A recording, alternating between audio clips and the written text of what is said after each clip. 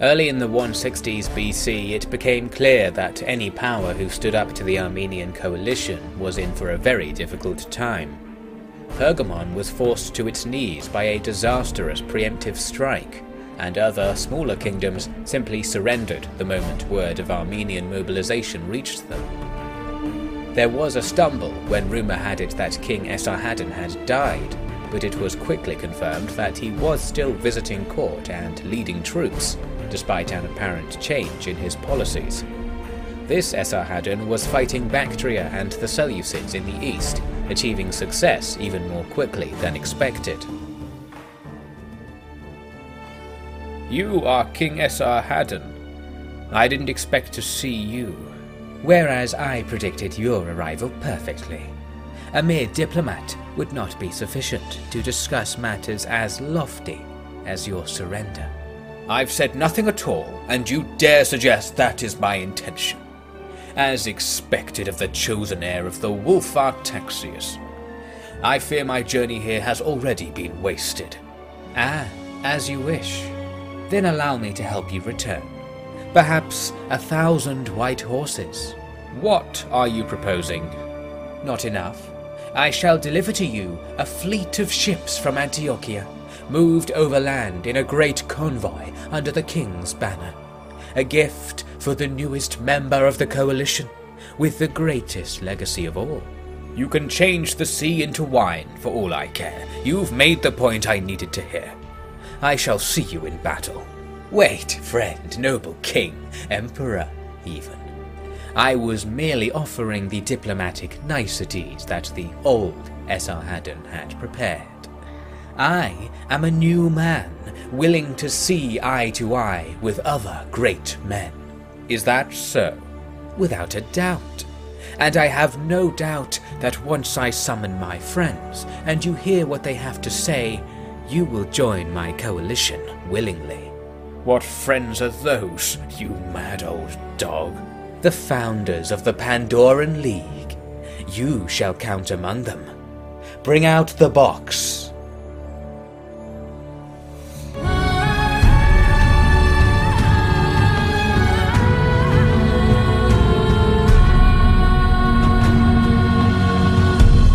Welcome back to Wings of Eden. With the surrender of the Seleucid Empire, we've pretty much got the victory conditions, at least the territory portion. The only thing we don't have is 55 total regions under our control, and now we do. I bought what remains of the Ptolemaic kingdom over on Cyprus, so we now actually have not only the territory conditions for the military victory, the next one, but the divine victory, the ultimate victory that's only for hardcore players. So that's pretty good. We've got all the territory we need in the coalition to complete the game. We've just done it way too early, so the other victory conditions like research 20 things are still very far from being completed. I'm going to play on a little bit further now in a let's see what happens sort of vein. My current mission is to continue the war with the Bactrians. I sent Manicapi to start that. I was going to send Mithridates to get involved as well, but he's run out of supplies, and I'm still not completely sure how you get them back. The current leading theory is just stand around. That seems to gradually regenerate your supplies, but other armies seem to never run out of supplies even while moving around, so I'm not quite sure. It might be that winning battles also restores your supplies, because Manuikapi has never gone away from fully supplied, but then again he keeps fighting and winning battles. We're here a couple of turns later, actually, after I besieged a town that the Bactrians took, and then took it back myself, losing a couple of units there in the auto-resolve. The auto-resolves being very realistic, since in a siege assault you probably would lose a couple of units while the rest of the army will be okay. So whoever sorted that out in the mod seems to have done a good job, although it's annoying me here since I'm going to have to re-recruit something. I'm going to give this town over to the Seleucids, that'll make their borders look a bit neater as well. And they're now a nice eastern buffer state. The whole east of the map, what of it there is, is now going to be on the other side of the Seleucid Empire. I'm also going to start a little project over here in the west. There's nothing going on in Anatolia, so the army, army I had there guarding it might as well just walk off and do something else. I'm going to move it over to fight with the Illyrians, who we're at war with through the Byzantines, I think, just to see what happens and give us some access potentially to the Roman Empire. You can see we've also gained a new puppet state over here for free, I didn't realise until now.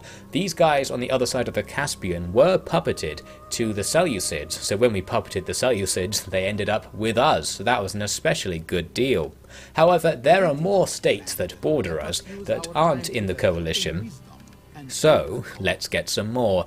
Here, there's a small Arabian kingdom that I can buy as a present for myself. It costs quite a lot of money, as you can see, to get these people to just suddenly surrender to you, since it does screw them over.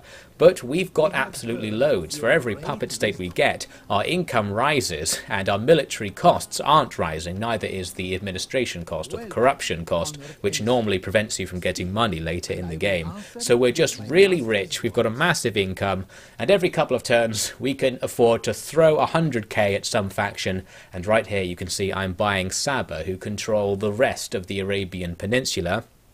After spending all my money on that, we now control everything down there.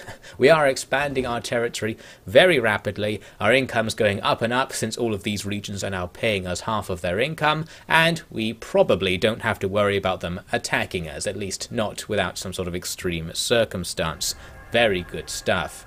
Now, moving on, Mithridates has got some supplies after sitting around. He's gone from not supplied to barely supplied, so I thought I'd try moving him. I've got this other pet theory that standing on a road is another way to get your supplies to replenish, so we're going to do that with him right now.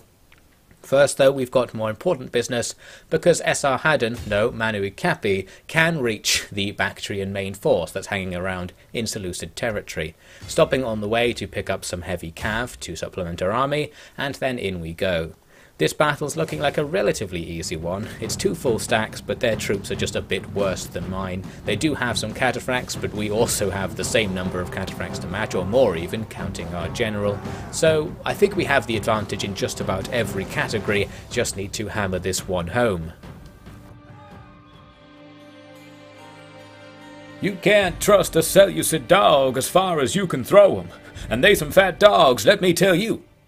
Every one of their officers looks like you're asking for damned ambrosia when you inquire about the grain shipments they promised. Pretty sure the mad old king gave them half the money in Armenia to get them on our side, but it ain't brought a smile that'll outlive a fly yet. Makes you wonder what exactly this whole coalition deal is gonna end up doing with itself. Whole point of it was that we were weak and needed to be strong all up together. Now we're the big boys on the map. Not sure exactly what we're trying to protect ourselves from here. Pretty sure we already won and could just go home. But no, sir, here I am out in the unforgiven desert, eating this. What do you call this? Mangy bread? Whatever. Sure hope the king knows what's coming.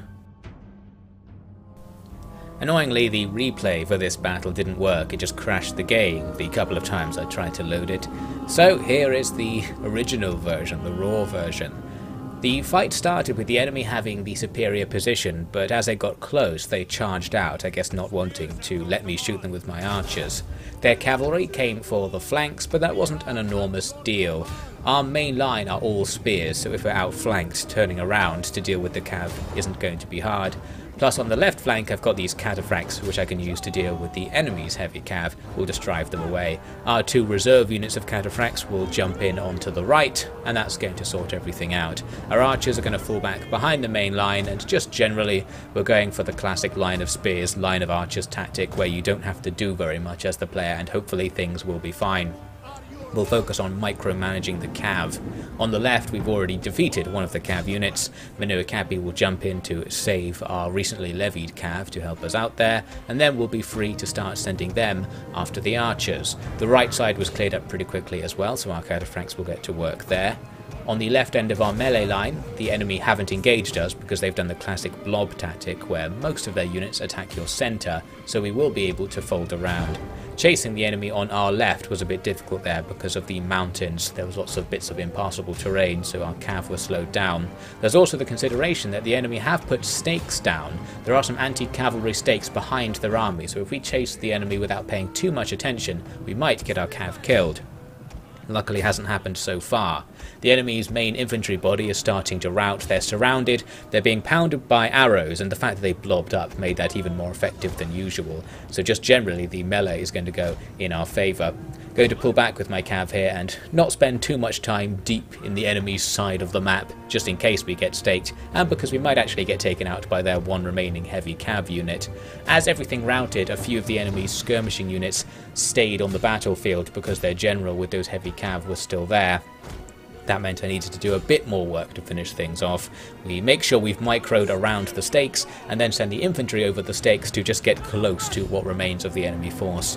As we hit their general, he routs and that's going to allow everything else to leave as well, bringing us a victory. So that was relatively easy. Didn't actually expect that much of a challenge anyway, but the enemy really threw it away, blobbing up their infantry and charging their cav uphill into unwinnable battles. All good stuff. It's hard to see exactly how much of the enemy army we destroyed because the unit cards, which normally turn red, can't do it if there's already a coloured background there, or no unit card as some of these units seem to have.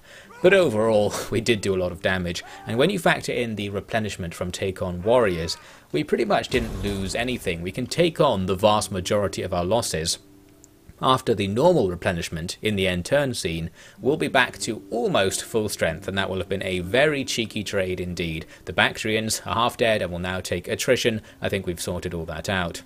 Mithridates is pretty much out of supplies again. I was still confused because we can see Manua Capi has full supplies and both of them have been away from home for a while, they've been on the march for a while, so it must have something to do with doing battles since Mithridates has been walking for ages without fighting. Going to leave them on the same spot for a bit to see if being close to each other does anything. I could just look up how the supply system works, but that's just not my style. I like to find things out the hard way or have the game tell me for no particular reason. I'm also moving in a new army up here along the south coast of the Caspian. You might remember I said I wanted to make a Roman style army and I've now got one, an army full of Armenian Romanized infantry, so we'll see how they do in battle if we can get into the Bactrian Empire. I also sent an army to check things out down here in Egypt, where it looks like things aren't going very well for Tashemu, the faction currently controlling what remains of the Ptolemaic kingdom. And the problem is Carthage. They are the number one faction, and we're number two, and by the look of that balance bar, they're about twice as strong as us. Looks like we finally found ourselves a rival, and right now they're invading Egypt, so very soon they will border our coalition. Turns out they don't want to be my puppet state, that would be incredibly cheeky if we could just buy Carthage. Maybe if I can get enough money it can be done. So yes, I decided that we might as well set up to have these guys as our rivals. Gonna send an army to go sit on this side of the Nile and watch over what happens here, not declaring war or anything right now. I'm gonna see how things go and work out how to get involved in that conflict. We've also got the little war up in Illyria to focus on. Our army has now arrived at the front lines in western Greece, so I'll just besiege this random settlement. No army inside luckily, so it's just the garrison we'll just see what happens there, set up the siege equipment, and let things run their course.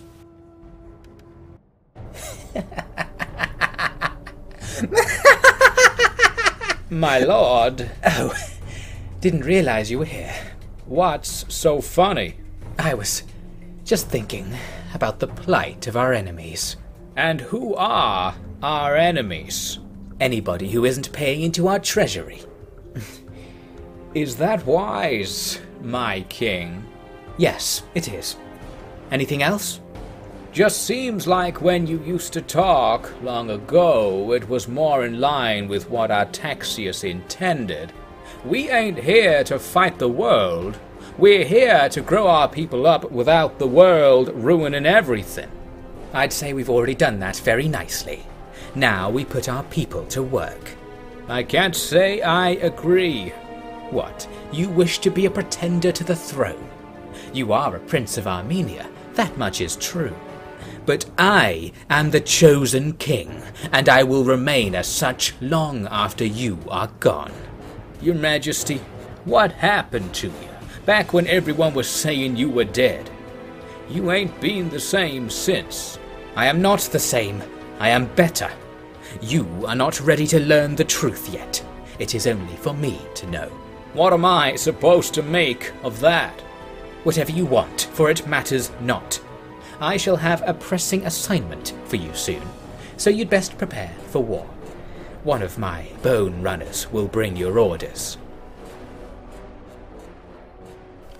Over in Greece with our guy Arsuka, I thought we can probably just go ahead and take this town. I only need a couple of ladders to really get in because there's not that much stuff on the defensive. So I went down to give it a go, however things were much more difficult than expected because our ladders can't go on the walls for some reason. I think maybe they're too small or something. I wasn't allowed to tell the ladders to go to the walls. So that's going to be the end of that. I've only got ladders, so there's no other choice now. We can't actually get into the city other than by attacking the gate in melee, which is an option, but it's not a very good option. I realise that for some reason, my archers, perhaps standing on this small rise, are able to outrange the enemy archers on the wall, so we can achieve something in this battle. We can rain some arrows on top of their fortifications and weaken the garrison, which will help us out because what we're going to have to do is go away, make a ram or something and come back in a future turn to try the attack again. Going away is absolutely fine, we can just run to the edge of the map, the enemy will just sit on their wall and not pursue or anything. So I shot them with arrows for a while and then we leave. The battle is declared a draw and nothing happens basically, the siege will continue. We did actually take out a full unit of enemy archers with our attack, so that was good, and we damaged some other ones. Lost some of our own men in the process, but barely any. As I said, this now means nothing happens with the siege situation, it just keeps going, and we can reopen the siege menu and get rid of those ladders off the construction queue. Need a couple of rams by the looks of things. However, turns out we don't need those either, Reinforcements arrive from the north, and now a field battle will take place instead, including the garrison. We're pretty outnumbered here, but the balance bar still looks okay because our troop quality is better. Although the enemy have so many melee units, we are going to once again risk just being overwhelmed because we don't have enough infantry to keep our formation together. We'll have to see and in fact, the battle started with a surprise. The garrison came on right behind where I'd deployed, so this fight's going to get started much faster than expected, but at least it means we can fight the garrison completely separately to the rest of the enemy army, which will help counteract our melee disadvantage. I turn around the left side of my army to receive the enemy. They're just trying to walk past me to go link up with their main force, so they walk right into the front of my shield wall, including these Greek hypaspists, perfect for taking on the enemy's lower quality spearmen. They do have the odd good unit in there, like these Illyrian nobles, a heavy infantry unit, but here you can see they've blobbed up on the end of our line in such a way that my jabs can sort of hit them from behind there. That's going to do lots of damage. At the same time, they've abandoned all of their missile infantry over by the line. They can't really escape because they're stuck against the edge of the map, so my cav just go in to start slaughtering all of them. After a while, that's all sorted, and we can form up to then charge into the back of the melee infantry. Some of their spearmen there actually turned around and came away from the fight to face us from the front. Some good AI. Not that it makes a difference in this case, because the charge is so heavy it just runs right through their spear unit and takes them out. Also, some of my own infantry are now folding around to completely envelop this group. Soon the entire group starts to rout, and now we're in business. We'll do a little bit of slaughtering here but really, we need these men to ignore this situation now and form up. You can see on the mini-map the enemy's main army is starting to arrive. Their advanced cavalry and skirmishers are already here. I'm trying to escape with this unit that drove away some of their initial Jav cav. We need to reform and get ready for the main battle. I really thought they were high enough. It would have taken so long to get more wood. I just no one wants to make a siege tower after marching all this way. We should be on the walls right now. No matter. They're all dead now, and the chance to make that point the king wanted is right here. Kill all these Illyrians, make father and country proud, and go home. Would rather do the rest tomorrow, but those idiots have come down off their hill and given us a chance to kill them right now. The king would be angry if I didn't fight them. Don't come home empty handed, he says. more worried about being empty bellied. And this whole thing about the backbone collection seems like a gruesome joke. Can't exactly say that they didn't have any, though, can I? I wonder what Armenia will end up returning to. Noise is building. Better actually do this then. I deployed my spear line to intercept the oncoming enemy units, but on the right I for some reason decided to deploy a big line of archers on its own to initially hold off these Javcav, against which it is suited. However, out there there are also some melee cavalry, and they're going to cause us some trouble. They charge into the front of my horse archers to begin with, who I didn't realise weren't on skirmish mode, and immediately one unit is routed. That's not a good start. I need to bring over some spearmen to help out, but right now most of my infantry are busy. You can see we've managed to surround a group of enemy melee infantry and are doing a general surround and pound there, hoping we can slaughter them all. And there are also a few odd melees going on off to the left. Nothing too bad for us. We'll be overwhelmed eventually if these fights are left to their own devices since the enemy have numbers, but we're not being outflanked, which is good, and our men are quite good at holding their ground. Those enemy cav go on to rout one of our foot archer units before we really take control of this situation over here and move over some out of ammunition skirmishers who are okay in melee to join the fight and that's going to help us out. Got some cataphracts in there as well, sorting business out. And now we can finally move some spears over to really resolve the situation. That melee that we had going on in a circle is over, everything is dead, and we can get to reforming the line once again to continue the battle. Once one unit of spears is over here, we can drive those cav away, but the enemy had one unit of spears of their own that showed up. I'm going to try and move over these two units of javs that were hidden in the corner of the map from my initial plan to go and help out with those enemy spears so we can use our own spears against those cav. The fight's starting to probably take shape here. There's a big fight going on on the right, we're just setting something up in the centre, and there's a smaller fight going on on the left. This left fight is being supported by our cataphracts who have just taken out one of the enemy's ranged cav units. I had another unit of cav trying to drive away the enemy's foot ranged units, but it failed. They actually got defeated as we tried to attack them. I think there was just too much weight of fire and they were too tired to do anything, uh, so we are going to have to fight while being shot by arrows, unfortunately. Those two Jav units that came over to help on the right didn't do very well. One of them was immediately destroyed when the enemy's melee cav quit the engagement to go and just charge into them. Although they did kill a decent number of those melee cav in the process, and the survivors dove back into a fight with my spears, so that's what we like to see. They brought over some ranged cav as well though, and they routed my other javelin unit, so we didn't get to use those javelins in the end. My second unit of horse archers has ended up fighting with the enemy's Javcav and their melee cav, and while we have the disadvantage against both, we have the energy advantage in this situation, so our men just didn't die, and because the enemy units were on the verge of routing already, we were able to beat them. Back on the left, I'm using the cataphracts again to try and clear things out. I got this opportunity because those enemy warriors at the back quit the engagement for a while to just walk around doing nothing. So I quickly pop in here and take out the spear unit and now my spears can go on to fight that other unit and the cataphracts will just attack them as well. I've had one unit of spears break through the centre to try and drive away all of those enemy slingers and archers and skirmishers, just because they can do serious damage to us if left to fire at us for a long time. It does mean though we're effectively sacrificing that unit of spears, because running one unit after a load of skirmishers is absolutely deadly, especially in Attila. Here we are again, taking out the left flank with a cataphract charge. We can just keep doing this. The cataphracts are being rested in between charges, so they're keeping their charge bonus high, and there goes another unit as a result. Now we've got a free unit to go and help out in the centre. Here's a quick look at the fate of that unit I sent out there to deal with these slingers and archers. The enemy hit them with a few Javcav from behind, which slowed them down, but I'm giving them constant orders to continue running after the slingers. If the slingers even get a couple of volleys off on our spearmen, they could just all die, so we need to keep them moving. But yes, that unit was on the verge of routing as we just saw, and it does rout out there.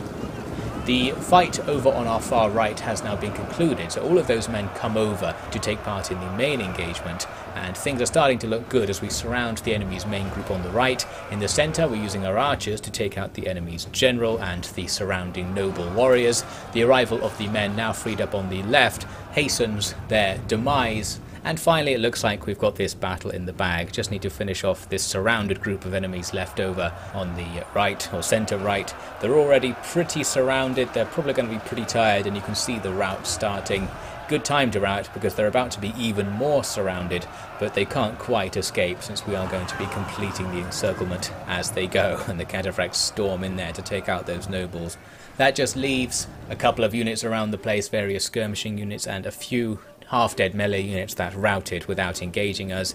For some reason, these skirmishers did actually charge over to engage our formation, and they did well at charging through our pike phalanx. The phalanx was surprisingly ineffective. Immediately, the enemy are through the pike wall, but at least that fight didn't last very long. The enemy gave up, as they probably should have done even before engaging. Then these two units of slingers that I was chasing away earlier came back to the fight and for some reason didn't rout even after the rest of the army was gone. Eventually rested up my cav and went in for a charge and that's going to be the end of them we end up with a close victory. We did take quite a beating across our whole army, and a couple of units took an especially large beating, but we didn't lose any full units, which could theoretically translate to no losses over the long term, and the enemy army was seriously wrecked. Some of the kills in our units were ridiculous. Our general, for example, had over a thousand kills on his unit from just doing cycle charges and chasing after routing units, and there were hundreds on all of our main heavy infantry units. It all looked good. However, that said, this sort of didn't happen in the canon of the series. I say that because after this battle, as we progressed to the next turn, I encountered a, a recurring glitch that I couldn't get rid of. Whenever the next turn started, the game would just crash, and I played the turn in several different ways, avoiding that battle we just saw and doing various things in attempts to find out what it was that was causing the crash at the start of the next turn. I was never able to find it, but I was able to go back to an old save, six or seven turns back, and then play roughly back to where we are, using some hacks to make things easier for myself, but we're not going to be in exactly the same place that we are now, so I'll explain the slightly new timeline at the start of the next part.